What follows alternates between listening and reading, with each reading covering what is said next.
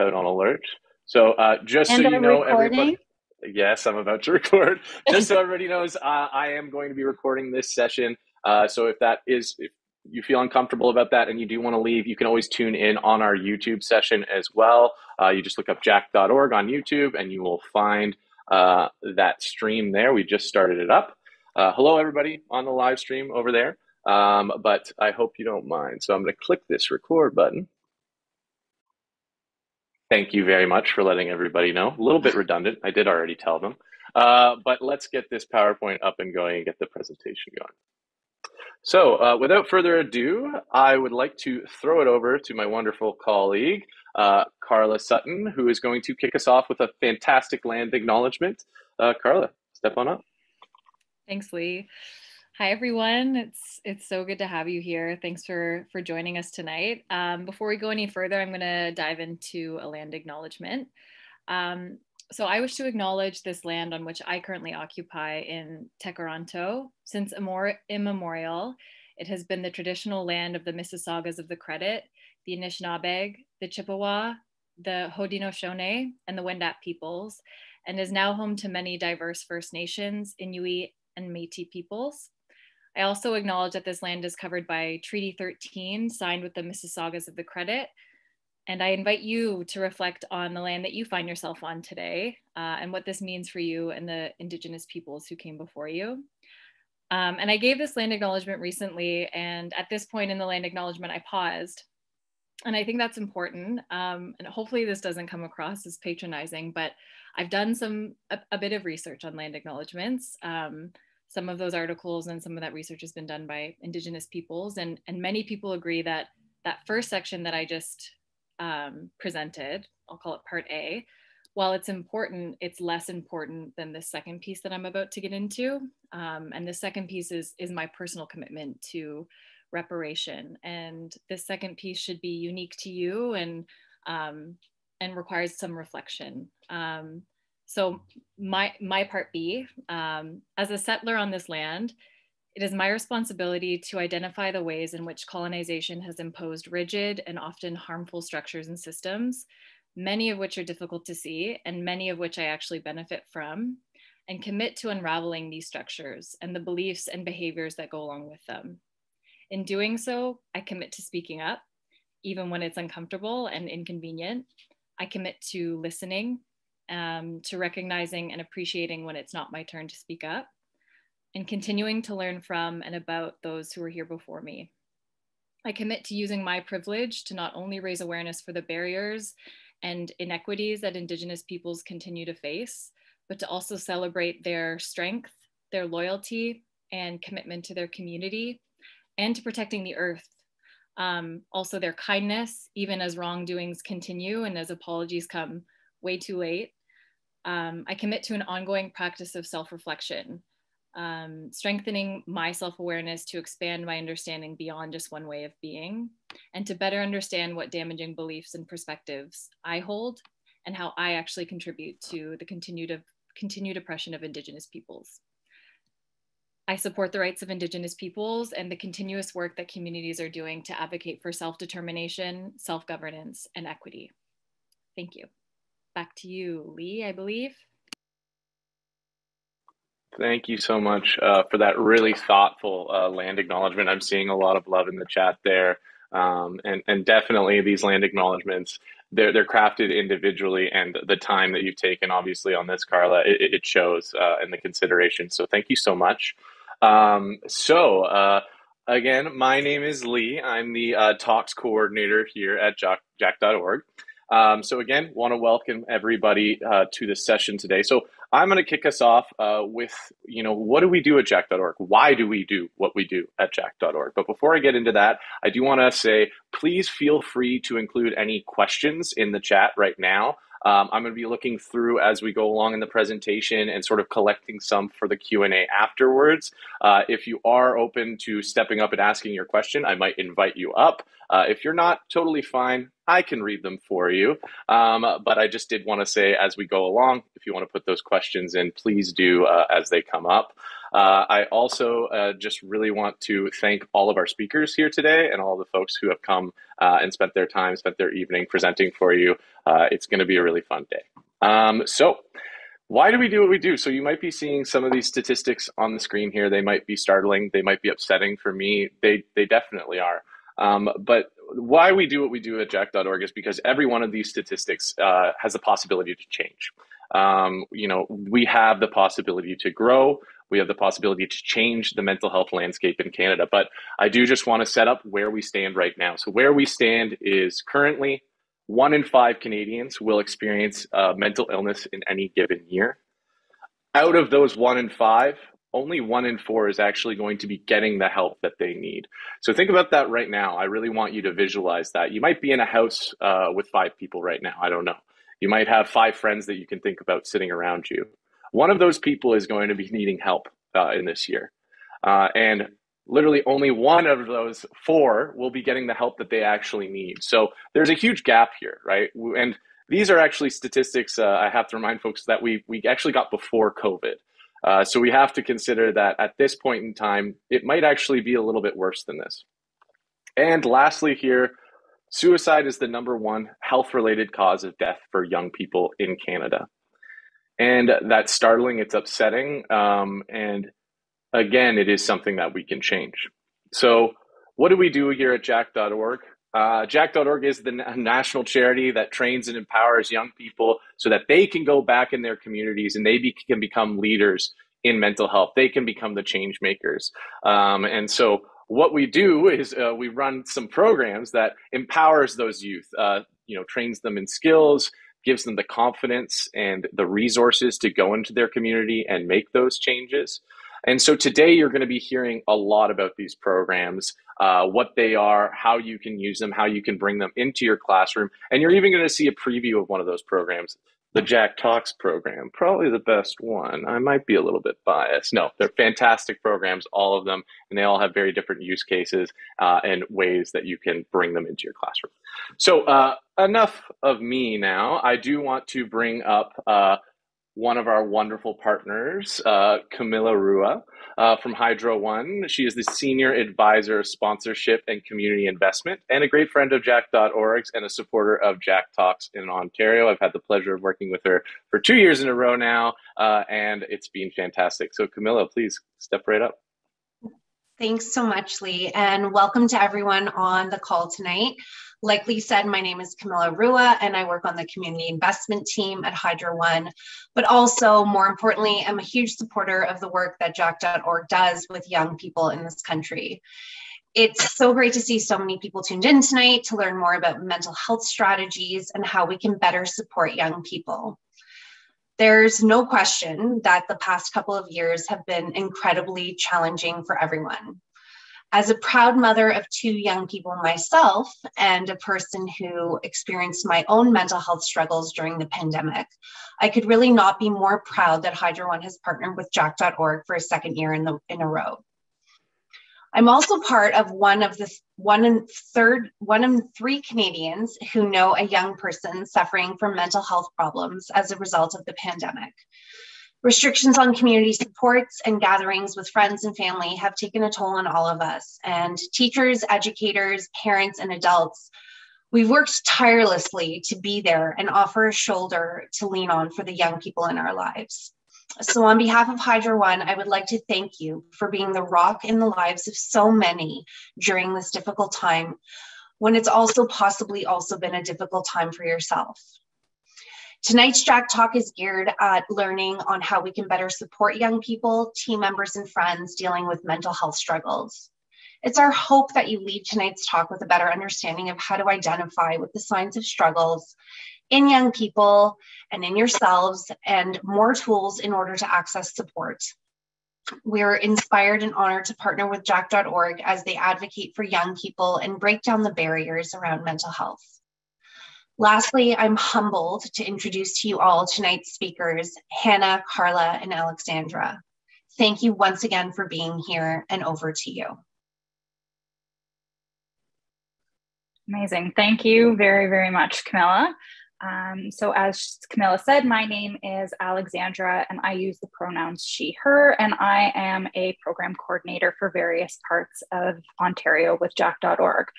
Uh, so I am very excited tonight to be sharing this space with all of you. As Camilla said, you really are the backbone of how we've been able to get through this pandemic. And I hope that I am able to give you some tools and resources that you can use to empower the youth in your life and maybe help them out a little bit more. And to do that, I will be going through our programming.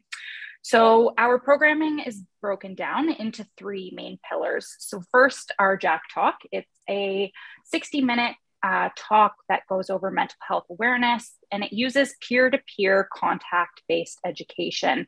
And this talk covers mental health basics, uh, how to take care of yourself, how to recognize signs and symptoms of poor mental health, and also how to be there for others in times of crisis. These talks are particularly useful because each speaker brings their own personal story to the talk, which allows youth to connect with, with the actual speakers. Each of our amazing speakers are trained through a six week program where they learn about safe storytelling, mental health knowledge, and um, amongst other key topics. So this is one thing that hopefully we can do to you for you is to bring these talks into your classrooms and into your home. So if we just go to that next slide, if you are interested in having a talk for your classroom, we have a pre-recorded talk and a live stream talk. Both of these talks comes with facilitator guides. And right now you'll see um, basically what the pre-recorded talk actually looks like. You'll see various modules and in each module are recorded videos done by two of our really, really fabulous speakers. We have quizzes at the end of each module. And then we also have a section that goes over our FAQs that students may have after the talk. So, talks are a really useful tool to start these important conversations and can really help you get the ball rolling, so to speak. Um, and it's extra nice because for you teachers, they basically come with a fully built out lesson plan with all of these facilitator guides, discussion questions, and pre-talk considerations and worksheets. And then our next program is chapters. So we often use talks um, as a way to kind of get youth introduced to mental health and these mental health topics and jack.org as a whole. From there, many of them become really, really passionate about what they can do to advocate for mental health and how they can make changes in their own communities. And our chapters are essentially groups of youth who come together by way of their community or their school, and they take on various initiatives. These groups may create goals regarding mental health education, stigma reduction, advocacy, or just building a sense of community, which we all know is so incredibly important right now. And through our chapters, we offer training, funding, and support. So, part of my job is to actually meet with all of these chapters, one on one and really see what I can do to help them succeed and thrive. And students really say that their confidence in talking about mental health increases, their leadership skills increases, and their ability to create community increases through the work that they do as a chapter. And hopefully starting a chapter at your school will you know lessen some of the burden on teachers when they're trying to create that sense of community. And as i said program coordinators are there to help you every step of the way. And some teachers have even gone on to actually embed chapter work into their classrooms um, and into like their lesson plans. And then our last major piece of programming is our summits. So if you can just go to the next slide, please. Uh, these summits are conferences dedicated to build youth advocacy and leadership skills in regards to mental health. And they also act as a really great networking and bonding time for people who are passionate about mental health and mental health advocacy more specifically. Throughout the summits, we have workshops, keynotes, panels, collaboration discussions, and if you find that youth are really interested in this part of our program, you, you can hold these local summits um, at your high schools, at universities. Um, and we actually just finished our national summit. It was so phenomenal to be a part of that experience. And I just want to show you this really quick um, video of some of the things that uh, happened there.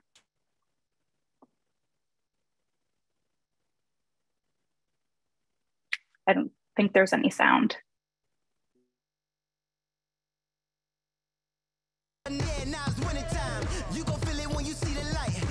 We've tackled stigma, started conversations, changed the youth mental health landscape forever.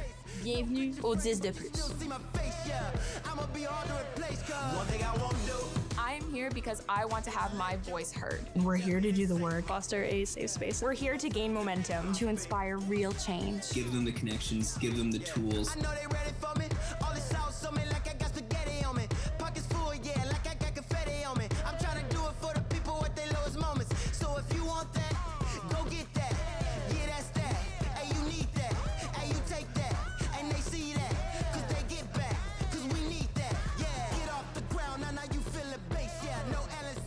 Feel excited, empowered, and hopeful for the future of mental health in Canada. It's unreal.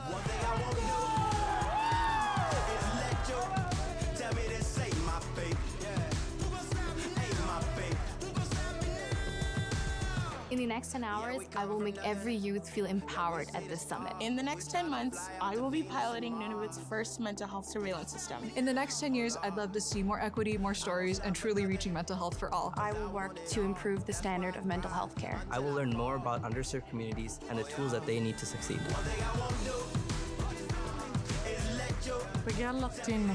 Bienvenue. Welcome. Welcome. Welcome to the next 10.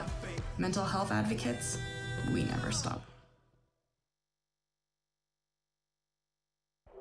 We've had a decade.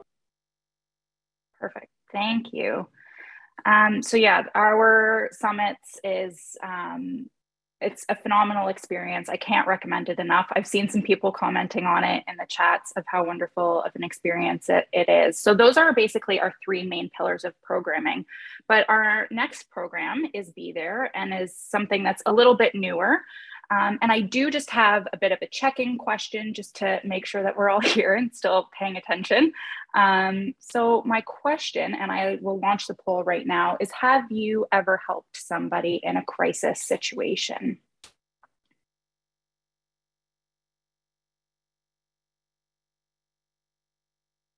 Yeah, I'm seeing the answers come in right now. This is phenomenal. Yeah, perfect. So through this, um, we see that 83% of people have actually helped somebody in a crisis situation. And from our own research, this is actually exactly the same um, that we've found is that 83% of youth say that they've supported a friend struggling with their mental health, yet only 39% of them say that they actually feel prepared for these conversations. And we feel that it is really critical to change this statistic. So our new uh, our Be There program is a resource for people to learn how to be there for others in times of crisis and also how to be there for themselves. So, through this, we offer workshops where students will learn to identify signs of mental health struggles and understand and apply our five golden rules. Uh, Hannah will be giving a little bit more information on what these are and how they can be used in classes at home or in your community. And we have also just launched our Be There certificate in partnership with Lady Gaga's Born This Way Foundation. I take the opportunity to name drop her regularly uh, when it comes to this. So the certificate is free, it's self paced, it's an online course designed to increase mental health literacy. It only takes about two hours. It's available in French, English, and Spanish, and learners will understand how how to recognize the signs of struggle, what to say to how, uh, what to say when you're starting those tough conversations, how to build trust and offer practical support, tips on how to become a better listener, the importance of setting healthy boundaries, how to help someone access professional and community resources, and how to maintain your own mental health. Uh, some teachers have already been able to use this certificate as a lesson plan in their classes, and it's really, really useful. And then the final program that I'm going to talk about is our Jack Originals. So this is a creative project that aims to create engaging, approachable mental health content for the general population. We have videos on men's mental health, eating disorders, borderline personality disorders, addictions, and more. And this one um, this is one that I will actually give you a preview of, and it highlights, highlights Jay, one of our youth, and their story about their journey to self acceptance. So I was 14 And I remember we were getting ready to do a dress rehearsal for our dance team. I was, you know, changing in the in the washroom with other guys, and I remember the shirt wasn't fitting right. And I looked at myself in the bathroom mirror and I started to cry. And I remember running away from our practice area, going up to our chapel in our high school, because um, it's a Catholic high school, and I just remember feeling so ugly and so unwanted and like worth nothing. That's just one of the first moments where I felt truly um, alone. Hi, my name is Jay Legaspi, and I am from Vancouver, British Columbia, Canada, and I identify as a Filipino gay cisgendered male. And this is my story.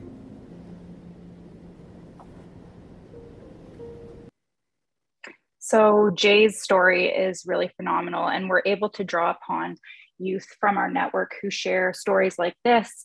Um, and it just creates a sense of understanding, community, belonging, um, so that youth can be seen um, and know that they're not alone in the situation that they're going through.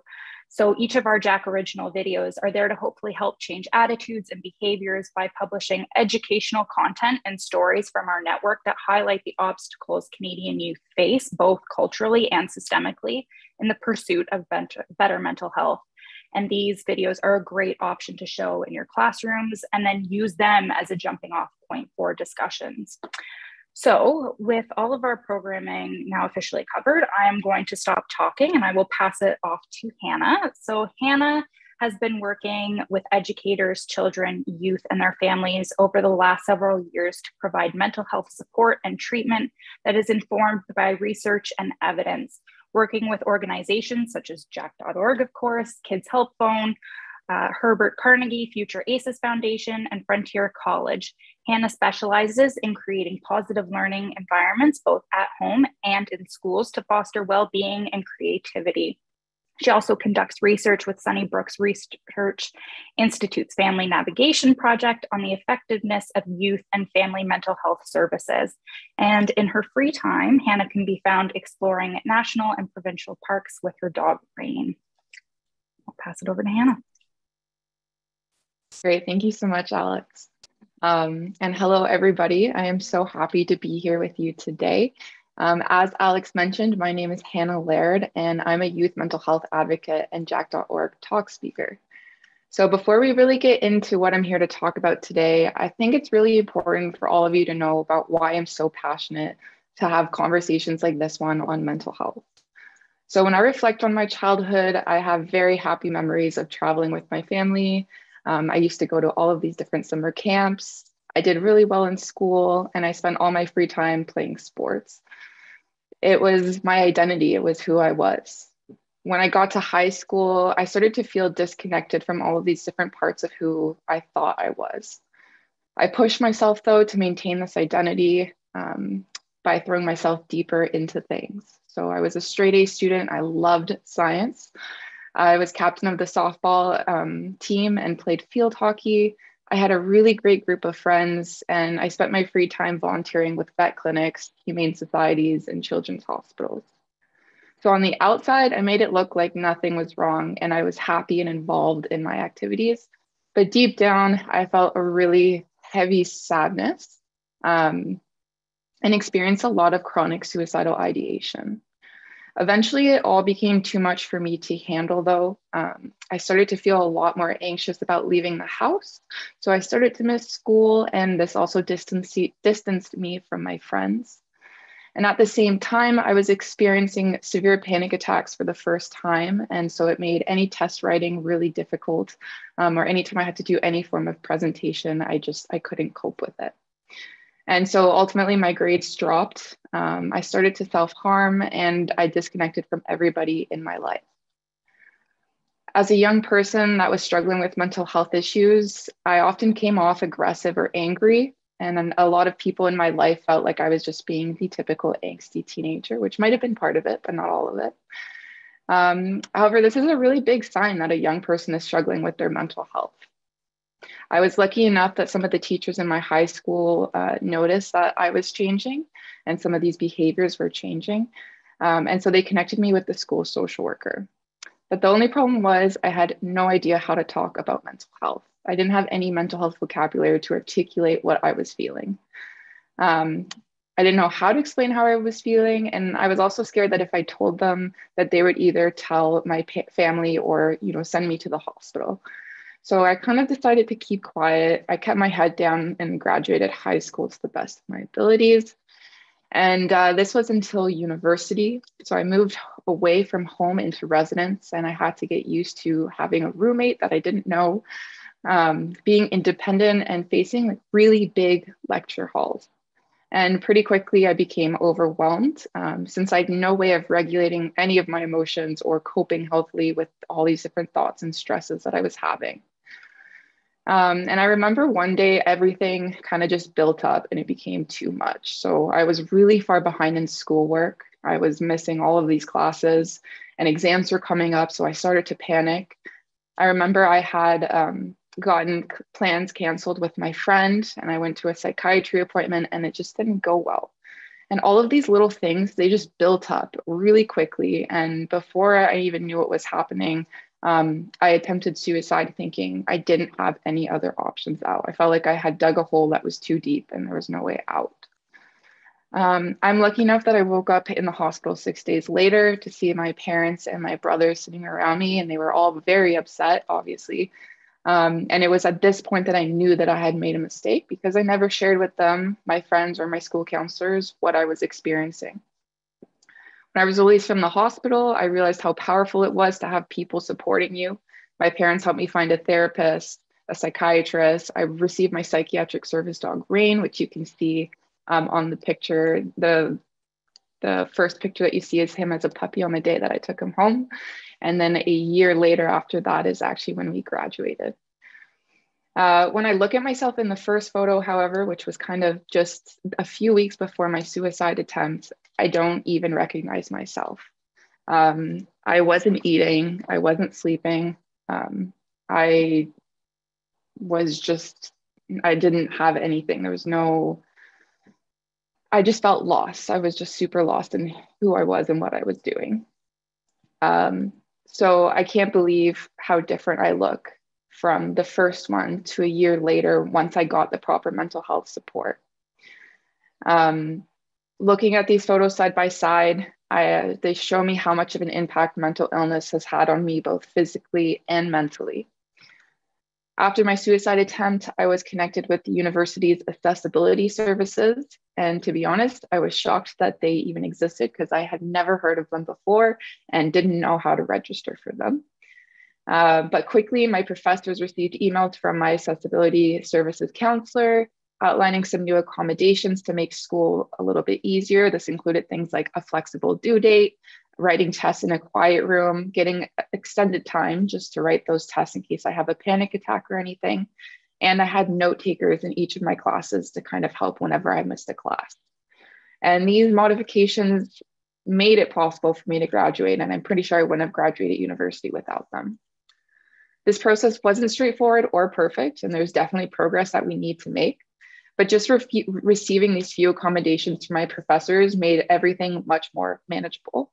And I think it's important to sometimes take a step back and ask yourselves as youth workers, how can I make my students' life a little bit easier? Uh, it's really impossible to know what is going on in young people's lives. And there are a lot of really big, heavy topics that they deal with. And so it's just easier to um, work with them and see what's going on to help them get to where they need to be um, instead of giving them consequence, consequences for not being able to maintain standards. So now that I talked about that, um, let's talk a little bit about what mental health is. Um, so mental health is a state of well-being, just like our physical health. It can affect our thoughts, feelings, and behaviors. Um, mental health exists on a spectrum. As you can see on the slide, it isn't black or white. So we all have mental health, and our mental health fluctuates on the spectrum as we live our lives. So you can fluctuate from healthy to stressed to struggling to in crisis throughout the day, throughout the week, throughout the year. And based on where we are in the spectrum, we may need different supports to maintain or improve our mental health. On the other hand, mental illness is a cluster of symptoms or irregular patterns in our thoughts, feelings, and behaviors. Some examples of mental illnesses include depression, anxiety disorders, PTSD, schizophrenia, eating disorders, or addiction. Mental illness also lays on a spectrum, as you can see on the screen, from no diagnosable mental illness to severe mental illness.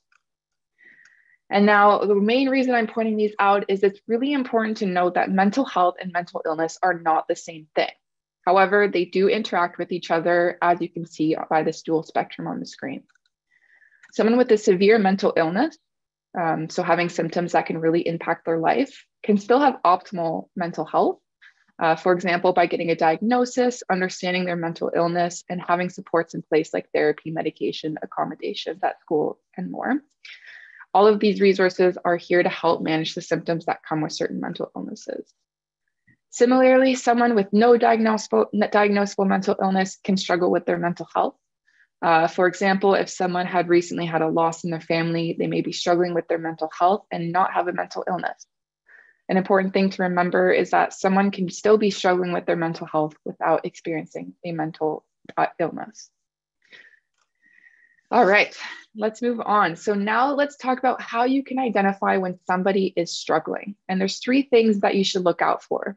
These include changes in thoughts, feelings, and behaviors. I've been mentioning those three quite a bit in this talk um, that are intense, long lasting, and significantly impact your daily life. So we all have tough days, or sometimes we just we feel upset, distressed. We can't we can't do what we have to do. Um, but when you're struggling for an extended period of time under significant distress and it impacts your daily life, this is a sign that you are really struggling and could use some help. And lastly, we consider someone to be in crisis whenever there seems to be a risk of harm to themselves or others. So, in this case, emergency services should be called. And if you think someone might be experiencing a crisis, you can identify the risk of harm by asking some really direct questions, even though they might feel a little bit uncomfortable. And these include things like Are you thinking about um, committing or um, are you thinking about suicide or hurting yourself? Um, and if the person says yes, then you can call emergency services and stay with them until they get there. Um, and if they say no, just it would always be good to show that you care and give them some resources and people they could go to for support. All right. So now let's look at how um, how the different factors in people's lives could be impacting someone's mental health. So you see on the screen that we break it down into three sections. The first one at the core is you. Um, we have the characteristics that make us who we are. They can include things like our age, gender, race, sexual orientation, genetics, and more. Uh, a good example of this is some people may have a more of a genetic predisposition to mental illnesses, and that means it might be more likely to, for them to receive a diagnosis. Moving on to the next one, individual environment and behaviors. Um, the environment we live in and our individual behaviors also affect our mental health. Where we live, our social support, our work environment, our school environment, um, and access to mental health services all play a part in shaping whether or not we will struggle with our mental health and to what degree. For a lot of youth, a lack of social and educational support can cause them to feel isolated and alone. Um, I know that was one of the main things for me, the main issues for me. I had all these different moving pieces going on, um, but I just didn't have that one support that I knew I could go to and, and depend upon. Similar for adults, if you are working in poor working conditions, you are more likely to experience anxiety every day, and this in turn can lead to mental health concerns.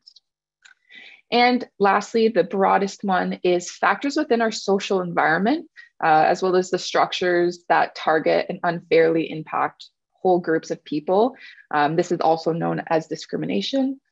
It can include things such as norms, barriers about mental health, race, gender, and many other areas.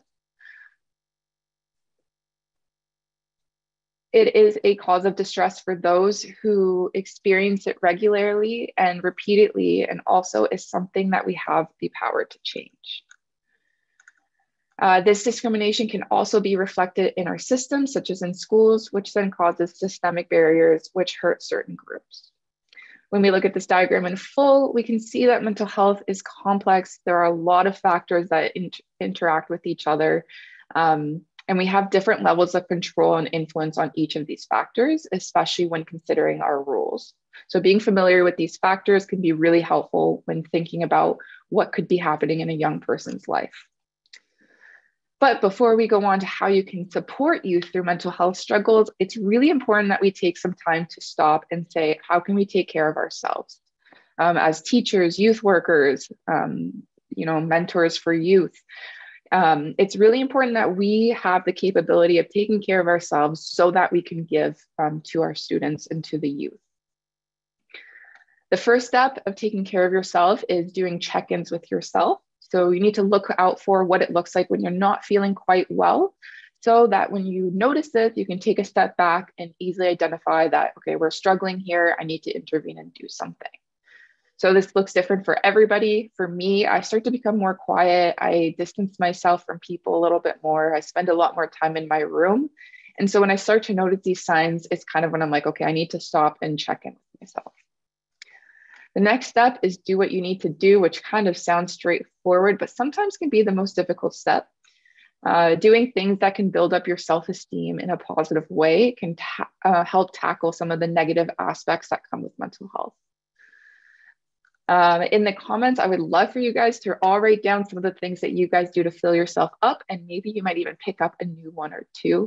Um, I know I love to do art. I have an art journal that I add to every time, whether it's you know something meaningful or just uh, just something random. Art has been a really great way for me to express myself. And the last thing that we need to consider is seeking help when we need it. Um, and this sounds easy, but might be the most difficult step because sometimes it can be difficult or nerve wracking, or we don't have the vocabulary, like I mentioned earlier, to kind of express what we're going through. Uh, a really good suggestion I have is having a list of people and resources that you can go to um, when you need help um, or when you need extra support, so that just in case anything happens, you have that list you can go to right away. All right, so we're gonna move on to the big, the big be there five golden rules. Um, so these are numbered in a specific order, which you'll see on the screen in just a minute once the slide changes. Um, but you can pick and choose when to use each one. You don't have to use them in the order. You don't have to use every single one of them. And let's go through it so that you know which ones to use and when. So the first one is say what you see. So if you notice someone who might be struggling with their mental health, you can mention to them that you've noticed changes in their thoughts, feelings, and behavior. Uh, but make sure that you stick to the facts and to what you see without making any assumption. So, for example, if you have a student who has recently started missing a lot of classes, a good way to approach them and start this conversation could be something along the lines of Hey, I've noticed that you haven't been coming to class as often. And I just want to check in and see if everything is okay. So instead of saying, like, you've missed five classes in a row, you're going to get detention, we kind of twist it. So it's like, I'm here for you if you need it. Just know that I've noticed these behaviors. Um, and if you need anything, I'm here. And that brings us into the next step, which is to show that you care. And this can be done in a few ways. You can kind of think about doing small changes, like changes in the way that you're talking to somebody, your body language, the actions you're doing, uh, and just by straight up telling somebody that you care for them. Sometimes simply knowing that there's one person out there who cares about you uh, can really make the world of a difference for someone who is struggling. So, going back to our previous student who hasn't been coming to classes often, you could say, I just wanted you to know that I care and I'm here for you. Even if the student just shrugs and walks away, it still make stay still may make a world of a difference for them knowing that someone is there for them just in case they need it. Number three is to hear them out. As teachers, we need to open up space for students to speak, ask questions, and make sure to provide silent pauses so that they can collect their thoughts and comfortably answer. Ask what they need from you in that moment and how you can best support them. Don't assume what they're looking for. Um, let them tell us what they need. And if they don't know what they need at the time, just just go back to number two and remind them that you care.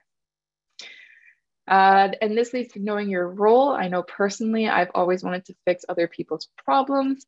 And although this is because we care, we can't always make everything better. Um, we are not professionals nor therapists. And this is why our last step is to connect them to help.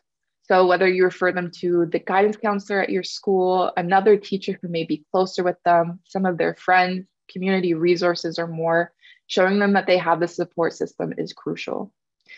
And at this point, I would love for everybody to take some moments to write down some of the resources that you refer your youth to when you notice someone is in need. The idea here is that we want to build a collection of all these different resources that people commonly use so that you guys can have a few more new resources going forward. And that is all from my end today. I want to thank you all for listening and for jack.org for giving me the opportunity to speak. Um, and now I'm going to pass it on to our teacher engagement lead, Carla Sutton. Thanks, Hannah. Thank you so, so much. That was my first time hearing Hannah speak, and I know I'm blown away. Um, we're so grateful to have you here, Hannah. Okay, so um, like Hannah mentioned, I'm Jack.org's teacher engagement lead. So this is fairly new work um, at Jack.org. So while, you know, occasionally Jack.org puts on events like this where we, you know, adapt our programs um, a little bit so they're more relevant for adult allies such as yourselves in the audience. Our programs really are first and foremost developed with young people in mind, developed for, you know, with young people as the end users, if you will. But we recognize that um, there's another group of people that often use our programs. They often pick up our programs and ultimately benefit from our programs, and that's teachers. So this this section here is for all the teachers in the audience tonight or the educators. Um, my role at jack.org is, like I said, it's fairly new. We're in in the new stages, but it's to um, better understand what teachers need when it comes to educating their students about mental health still with the ultimate goal of educating young people, but um, doing so in a way that's a bit more accessible and useful for teachers in a way they, they can just pick up and go. Um, this work um, will also hopefully help Jack.org understand what existing gaps in mental health education exist and where we might be able to fit amongst, amongst those gaps. Um, so like I said, you know, my work here has been understanding what teacher needs are. I've conducted a survey, maybe reached some of you in the audience. Um, I've had some, some great teacher interviews. Um, again, maybe some of you are in the audience as well. Um, and before I get into, you know, some of the really valuable feedback I've gotten from educators around what they need to educate their students uh, effectively, um, I've also heard something else consistently, and uh, that is that these past two years have been really hard. so I just want to pause here and acknowledge that, um, you know, being a teacher is hard on a good day. Being a teacher in a pandemic, I can only imagine. Um, and so I know that teachers are struggling too. And so, you know, before I dive into to my segment, I just wanted to say we see you and and we're so grateful for everything that you do. Um, okay, Next slide, thank you. So um, I thought it would be interesting to share with the, the educators and others in the audience tonight what we've heard so far throughout this research. A, because I think it's, um, it's interesting and it's a snapshot into some of the areas that jack.org is planning to explore. Um, but also if, um, if you see these and you're like, mm, no, that, that doesn't resonate for me, or this sounds like a bunch of baloney, I wanna hear from you because I'm not certainly not the expert when it comes to teachers and their lives. I'm, I'm not a teacher myself. Um, and so I'm going to share my email address and I, and I welcome um, folks to reach out to me, um, whether you want to just be kept up to date on this work or you have your own thoughts that you'd like to share on the matter. Um, absolutely welcome that. Um, okay, so after 160 survey responses, um, close to 30 one-to-one interviews with teachers, uh, specifically in Ontario, the, the interviews took place. Here's a snapshot of some of the themes that have started to emerge. A really big one, I don't think it's gonna surprise anyone. Um, time. time is a major, major factor for teachers. Teachers are busy, busy people, and they're overwhelmed, um, you know, especially now, like we've talked about. There's a lot of expectations, um, curriculum or otherwise, and a really finite amount of time. Um, teachers don't have time to sift through, you know, a ton of resources because there are quite a few mental health education resources out there. Um, they don't have time to, you know, spend a lot of focused time navigating the resource and determining how to apply it to their class. Um, I, I'm kind of learning that teachers want to spend a lot of time doing this, but you know, they want to spend time creating comprehensive and and thoughtful lesson plans, but there's not always time. Um, so ideally, you know, we could offer resources that are well built out, um, they're credible, they can be relied on for safety and up-to-date best practices, um, but they're also flexible. Um, so they can be adjusted to meet the unique needs of your, of your students and, and your class.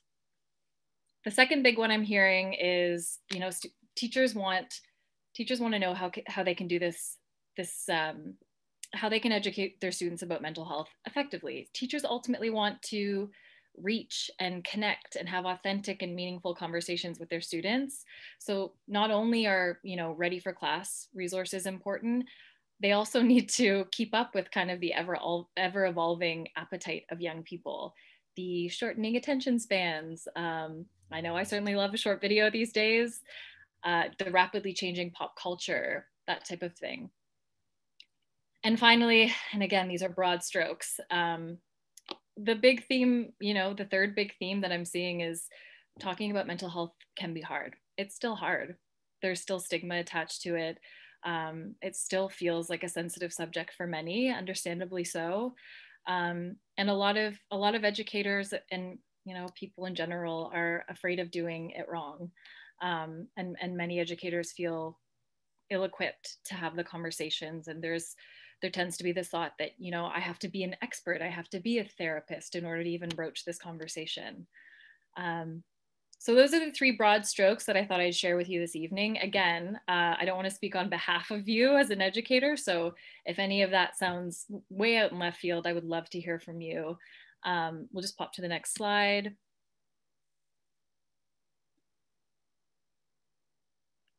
Ta-da! So if you're interested in learning more about this, work um, or if you just want to be kept up to date on where this goes like i said we're in the, the early stages um, or if you have something you'd like to say you can email me um, this is my email it's fairly easy to remember carla at jack.org and i would absolutely love to hear from you next slide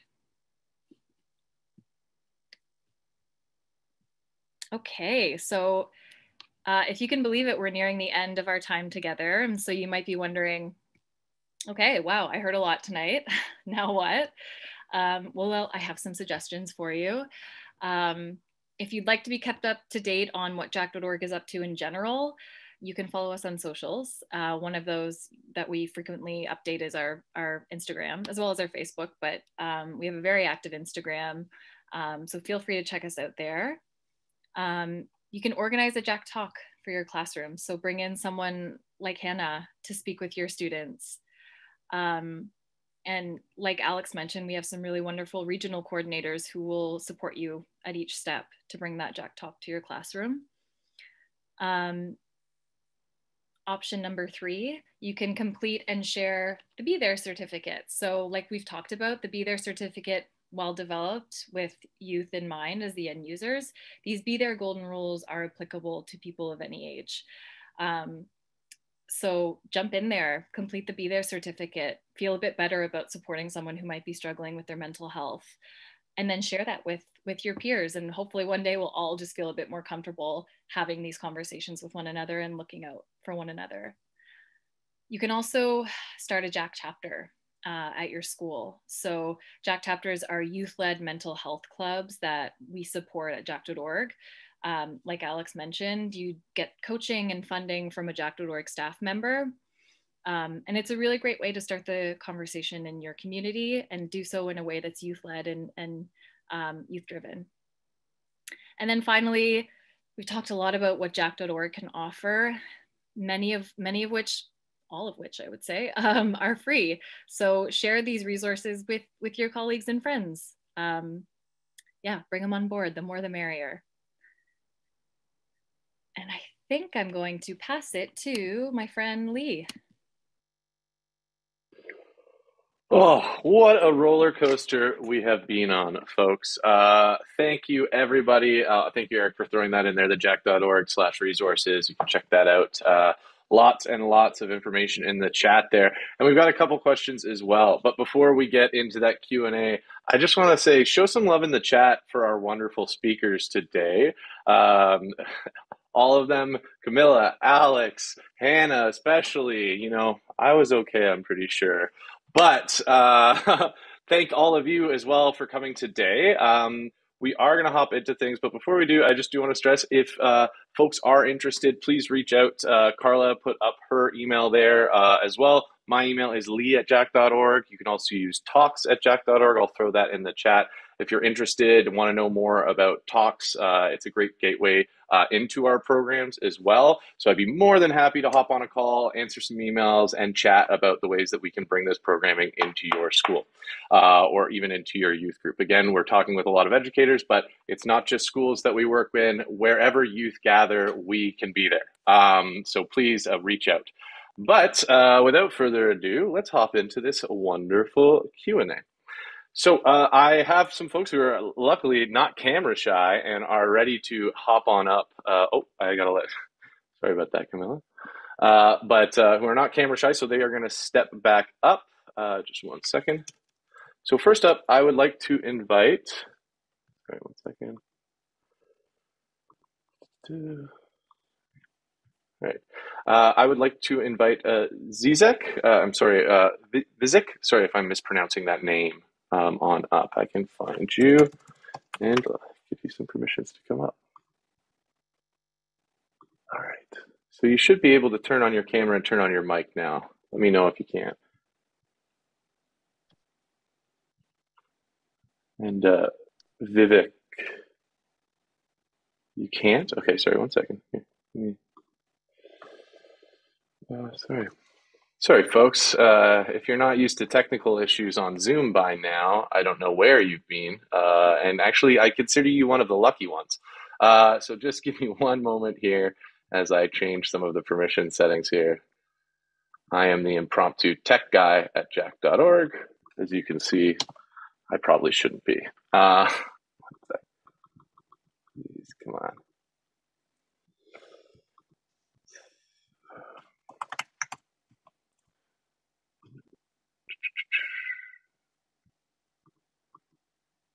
Yeah, maybe that. Oh, wait. So I just asked you to unmute. Uh, let me know if that works. Well, yes, it, it works, but the camera isn't working yet. But that's okay. I could just be audio if you prefer. Oh, maybe. I think the camera's working now. There we yes, go. There we go. Hello. Success. I love it. I've earned my paycheck. All right. So please uh, ask away. Absolutely. Thank you. Uh, you know, I the question that I that I asked uh, it really made me think uh, from what Han, Han was sharing. Hannah was sharing um, you know, I'm, I'm 53, my kid's uh, 25. So we've, we've, uh, she's been through school and a lot of it was very challenging for her, very traumatic. And I hear that, uh, Han, I hear from, from what you said that you didn't receive a lot of the supports that you wish you had. And I, I want to know from, uh, from you and from anyone else that wants to share as well, what would you have, what did you find that maybe teachers did that wasn't so helpful for you and what could they have done? What wish, what do you wish they had done? Um, to help someone like you who maybe you didn't have the you know you didn't have the like you said you didn't have the, the self uh, the language for it. Um, you didn't really know what even to say or what even to ask for. So in a situation like that how do you feel like you could have been guided more? Because i work with a lot of young people myself and uh, and with a lot of parents and so i would love to learn that from you. Yeah definitely thank you so much. Go that's ahead, a great Hannah. question so um, first of all, I have to like give it out to the educators because I've had great teachers. They've made huge impacts, and this is a new territory, and it can be really scary for them as well because they don't want to step over people's boundaries, and there's different regulations. So um, I totally get that there's this, you know, there's these these barriers that exist. Um, I would say so in high school, I definitely give props to the teachers who spoke up um, to my guidance counselors um, to say that something was going on uh, because that really led to some more extra support um, from the school, even if I didn't really let them help me the way that they could have. Um, but there were instances um, that, you know, for example, I remember one time I was I was doing this verbal exam where it was almost like a debate. And I was in this group and everybody was super strong speakers. And I was, I just panicked. I, I completely lost it. It was one of the first times I had such a severe panic attack. I thought I was going to die. Um, and so I just kind of got up and ran out of the room. Um, and instead of kind of dealing with it in a different way, you know, the teacher at first kind of chased me down the hall. Then when she realized that, you know, I needed some time, um, I took the time and I came back. But when we came back and we started talking about some solutions, um, ultimately it was let's just try it again. Let's just put you in the same situation. Um, and it wasn't really that wasn't really helpful for me. So I think something like, okay, so what happened that made you feel this way, or just kind of sometimes asking, okay, so you had this reaction or you panicked during this test. So what was it that that you know you needed or what could i do to need you um, i think it's one of the five Be There golden rules is just you know you show show you care um, don't tell them what like you think you know give them space to answer your questions um, with how they want um, and let them tell you what they need instead of just you know kind of guessing what they need which is oh another opportunity to take the exam but maybe not because every student's different. Uh, as an introvert those exams were not great for me. Um, so i think just working with individual students to meet their needs their comfort levels is really important and something that teachers could have done when I talk think about university, um, that is a whole different ball game um, in itself, and definitely, you know, I could go on for a really long time, but um, professors are old school or some of them are old school. Um, and I've had instances where they straight up told me that I was faking my mental illnesses so that I could get accommodations. And um, as much as it sucked, I was able to stand up because Jack.org told me how to do that. Um, and I stood up for myself, but just know that it exists and it happens and is something that we need to work towards. Thank you so much, Hannah, for that really, really thoughtful uh, response. And and I think one of the key takeaways that I had from that is is just ask them what they need. I think so rarely uh, does someone come to us as youth and say, "What do you need from me?" They're constantly being asked, "What can you get me?" You know, when's that assignment coming in? How are you doing this? You know, a lot is asked of them, but how often do you uh, you just get to say, "What do you need from me?" So that was really, really thoughtful, and I think uh, something that whether you're an educator or just communicating with other people, that empathy is so important. Uh, did anybody uh, else want to add on to that uh, to that question?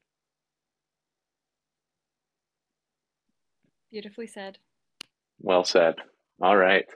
If it ain't broke, don't fix it. Cool. So moving along, uh, we had Joni uh, who wanted to step up.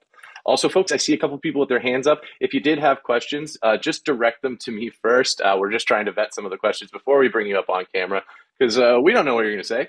Uh, so if you could send those over to me, you could just direct message me through the chat, and then I, I can just pull you on up. But Joni, I'm going to make you a co-host right now, and you should be able to unmute and turn on your camera. If not, let me know in the chat, please. I have a whole bunch of extra buttons now. Ah, there you go. That's the power of being a co-host. Fool, fool.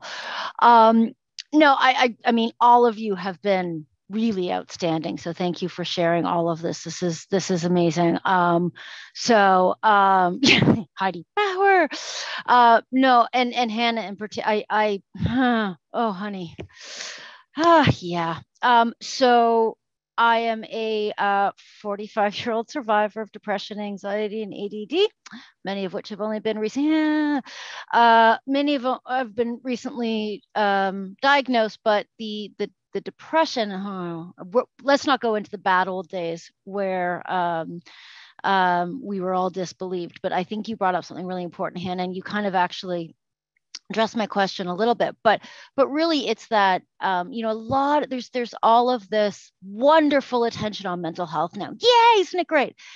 And if i take another cognitive behavioral therapy class i'm going to shoot myself. You know what i'm saying? Like i got the CBT down. Thank you.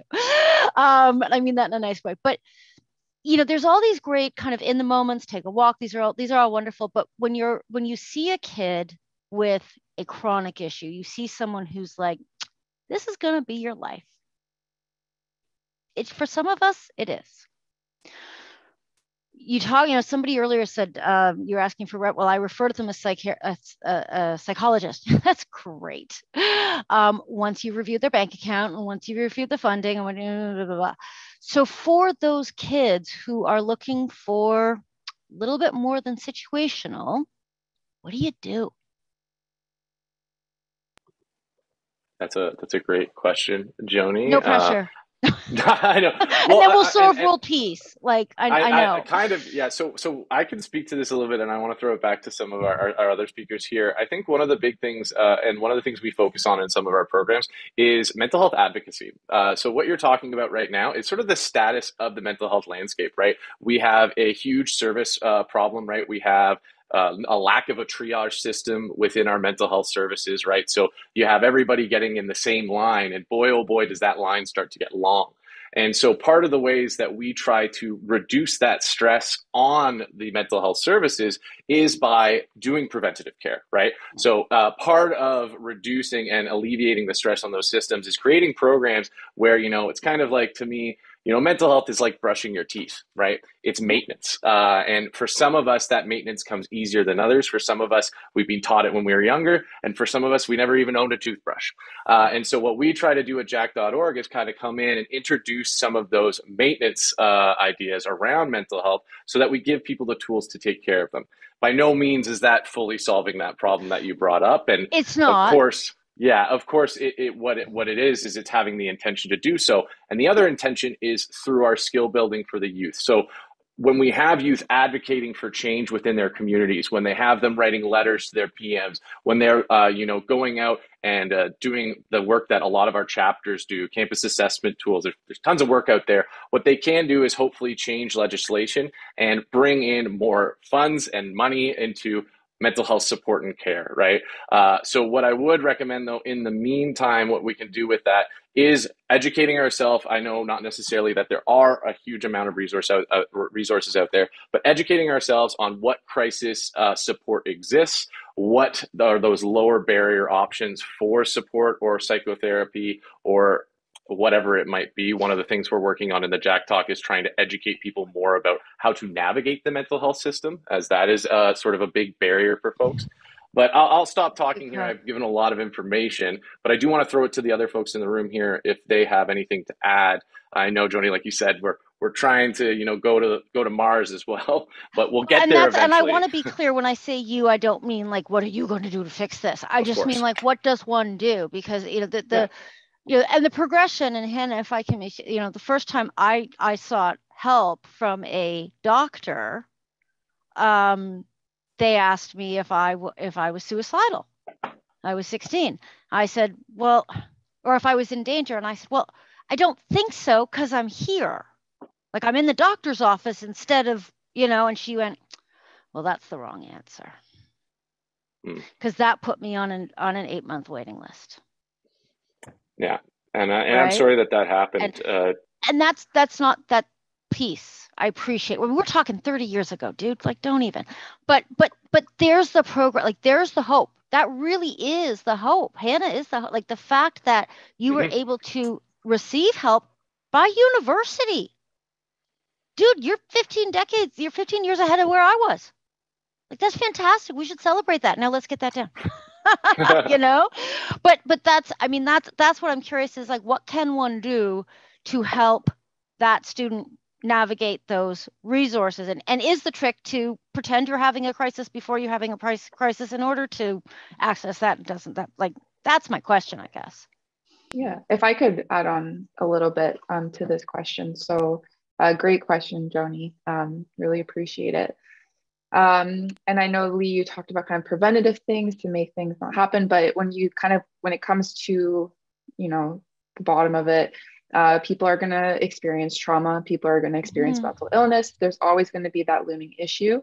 Um, I myself have been have been diagnosed with bipolar disorder as well as PTSD, so it is going to be something I deal with for my lifetime. Yep.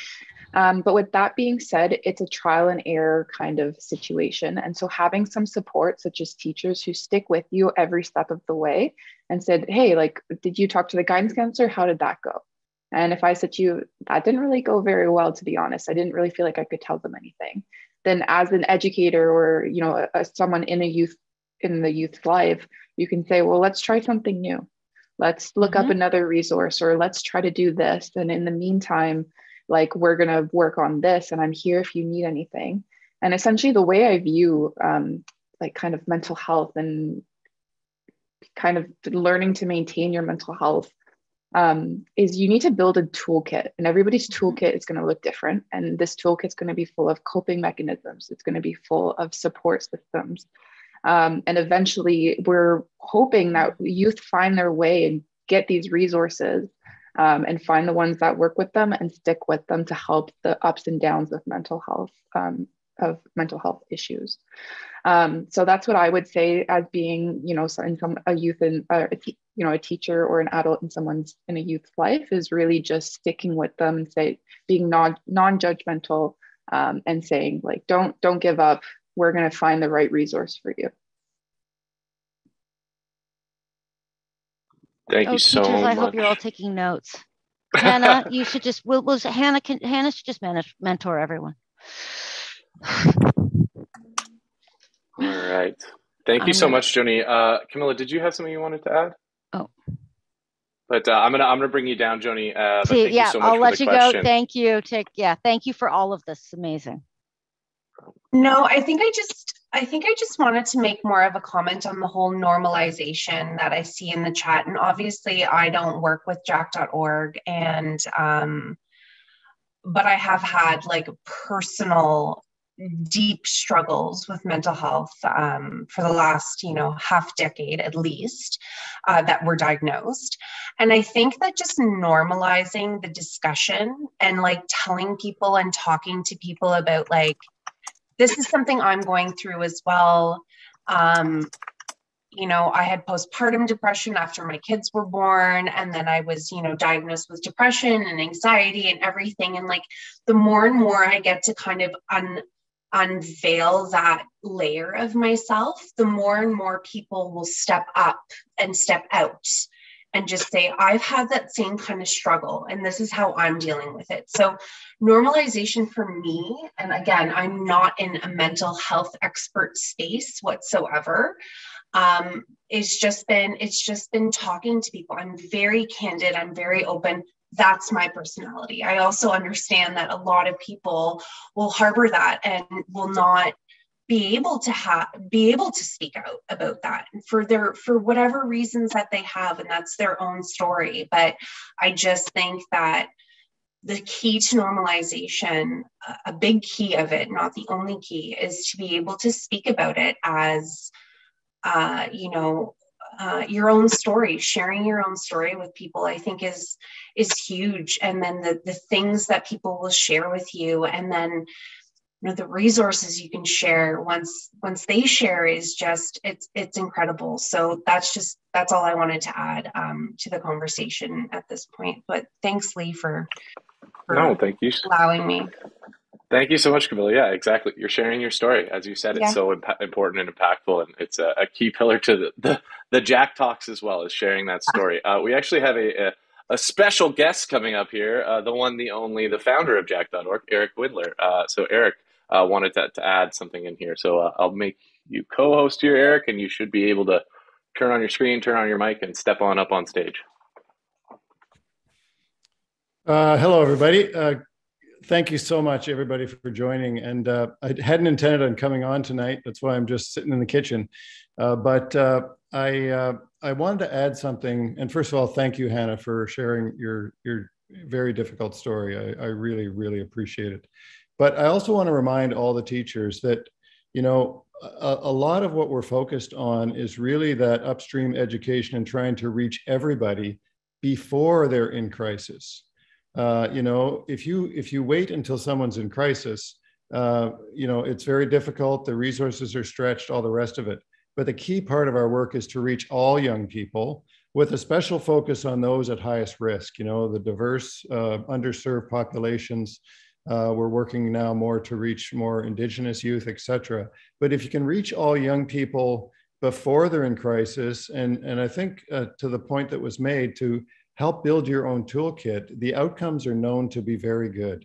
And yes, we also have to use those golden rules when someone is in crisis and learn how to guide them and help them navigate. Because when you're in crisis, and I've supported countless people in crisis, you don't really have the capacity to navigate the system, the difficult system yourself. So that's very, very important. But let's try to also reach all young people, educate them about mental health uh, so that they build their own toolkit, learn how to take care of themselves, and, and really support themselves before they get into crisis. And that, that will have an offsetting effect on the overburdened system while it's getting its act together, so to speak. So I just wanted to thank everybody, mention that briefly, uh, and uh, back over to our wonderful host, Lee. Thank you so much, everybody. Thank you, Eric, for the surprise appearance. Always a pleasure.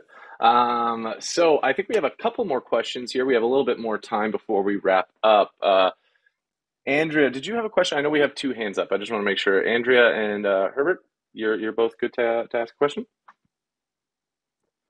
And yes, we will be. Uh, it is being recorded. Also, it will be on our YouTube page. The live stream will be available there, but we will also send over uh, an email to all you wonderful folks uh, with uh, some resources you can use, some of the information we talked about today, and of course, a recording. Um, so please, please, uh, yeah, check that out. Um, all right. Uh, I just wanted to check. Andrea, Herbert, if you guys are good to ask a question, just let me know in the chat. Um, that would be great. If not, we can wrap up a little bit early today and give folks back some time. It's uh, late on a Wednesday. Um, oh, Herbert, okay, for sure. Let me bring you up then. I'm kind of a pro at this now. So making co-host, boom. Oh wait, there's another button to click. Never mind. There we go. Boom. Oh, it's just a mountain. All right. Oh, there you are, Herbert. hey, folks. So, um, yes, my name is Herbert, um, they, them pronouns, and um, thank you very much for coming here. I'm also a Jack Talk speaker myself, so I am.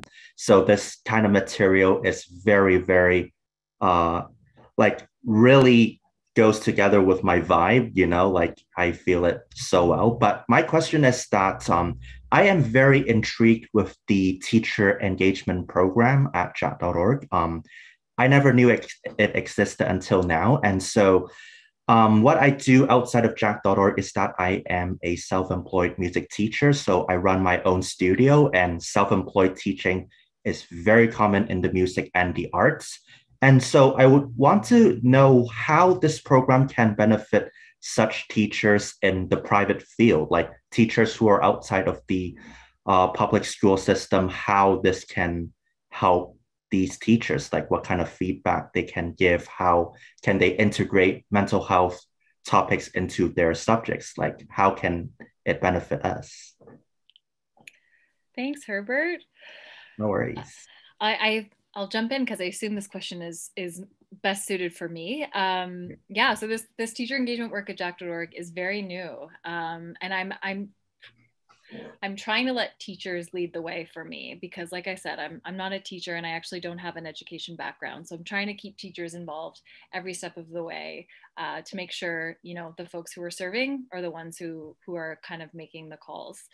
I will say that our efforts at the moment, because I am a mighty team of one, um, are focused on high school teachers. So within like your traditional school setting.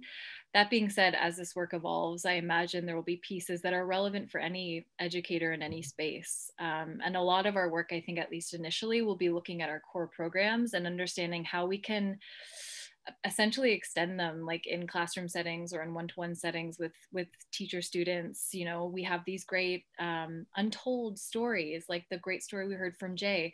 How can we supplement that video with something that creates um, you know meaningful dialogue between a teacher and a student discussion questions? How can we link that to curriculum objectives those types of things? So while i don't have a super concrete answer for you yet herbert because um, this is the first year we, are getting into this work. I'm really hopeful that we'll have some things that are tangible and useful for educators in many spaces. Yeah, for sure. Um, definitely, I would love to contribute this in any capacity. And um, I've definitely seen the change between like when I graduated high school in 2013 and right now that um, I'm definitely seeing more of a mental health conversation. Like this is pretty much absent when I was in high school. So um, it obviously can be it obviously can be taken a lot further, but um, I'm really appreciating what I'm seeing so far. Thank yeah. you so much, Herbert. Yeah, like you said, awareness is just the first step, and, and we're getting there for sure. But there's so much more work to be done. Uh, and and thank you for all the work that you do, Herbert, uh, as an amazing yes. Jack Talk speaker as well. Um, so so kudos. I'm going to send you back down now. Awesome. All right, have a good one. Okay. And I know that there was an Andrea who also wanted to ask a question. Andrea, if you're still with us, uh, please, please just let me know in the chat and I can bring you on up. I wouldn't want to bring anybody up if they weren't like ready. You know, they're just like their backs turned, they're drinking some water or something. Um, give it a few more minutes here. Um, but while we wait, uh, I do again, uh, sorry, I'll be a little bit more redundant. I'm, I'm, being a bit redundant here, but thank you so much, everybody, uh, for coming today. This has been an amazing event. Uh, really, really thoughtful questions from everybody uh, who came up. Lots of really great engagement in the chat. Uh, I also did just throw in a resource there. There's been a couple folks asking for resources around younger audiences, so that elementary aged audience. We do recommend checking out School Mental Health Ontario. Hey, even if you're not from Ontario, the website doesn't know, you know? So go ahead, check that out. There's lots of great resources in there for younger audiences. Um, so please, please take a look. But thank you again. Thank you, Hannah. Thank you, Alex. Thank you, Carla. And a special thank you to you, Camilla, and to Hydro One for making this possible today. We really, really do appreciate it. Um, and before we go, I do just have a couple of housekeeping things that I wanted to mention to folks. So we have two really big milestones coming up for jack.org if you would like to continue supporting youth mental health at jack.org. So if you don't already know, May 2nd to 9th is Mental Health Awareness Week. So this is a perfect time to start introducing some mental health programming into your school, into your classroom, into your youth group, wherever it might be. This is the perfect time. It really sets the scene for these conversations to be had. And like we said today, a Jack Talk is a great way to kick that off whether it be pre-recorded, whether it be live stream. We'll support you with post discussion guides so that you can set the tone. You can start asking some of those questions and starting those conversations in your classroom. Like Carla was saying, you know, it might feel uncomfortable, but we don't need to be mental health professionals to talk about mental health. We can share our stories, we can do it safely, and it can have a huge impact on everybody involved. So please, please, uh, if you are interested, get in touch with us. Go on our website, jack.org you can take a look at more of our, uh, you know, more detail into the programs. You can also, did I say request a Jack Talk? Yeah, you can do that on there too. Um, or you can just email to me directly at lee at jack.org or talks at jack.org, and we'll get you all set up with one of our amazing program coordinators to walk you through the process. Uh, the next little milestone that's coming on is Jack Ride. So if you're not familiar with Jack Ride, it's an amazing fundraiser that we do every year. It's a great time to get outside, enjoy that well, spring weather. I mean, we're not having it yet, but we will have it then. I swear. May's a different month. It's going to be great. So please, if you are interested, we actually have a special promotion during Mental Health Week where all the funds raised in Jack Ride will be matched. So if you'd like to make a donation that has double the impact to support our work, please consider making it between May 2nd and May 9th. So, like I said, during that mental health week, we are looking at any donations brought in through Jack Ride are going to be doubled. So, if you want to double that impact, you know, take a look, donate to a team, uh, donate generally, whatever it is. We would really, really greatly appreciate it. Um, so that is all from me. Um, I just wanted to check. Did we hear from Andrea? I would hate to miss you. I don't believe we did. Sorry, Andrea. But that's all for today, folks. Did anybody want to say a, closing word?